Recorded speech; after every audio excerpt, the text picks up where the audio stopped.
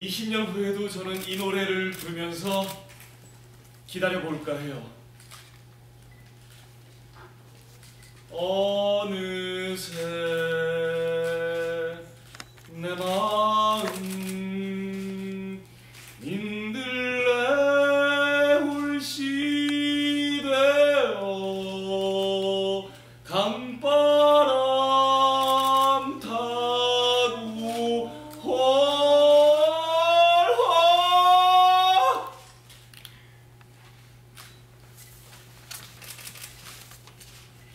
저를 알아보시겠어요?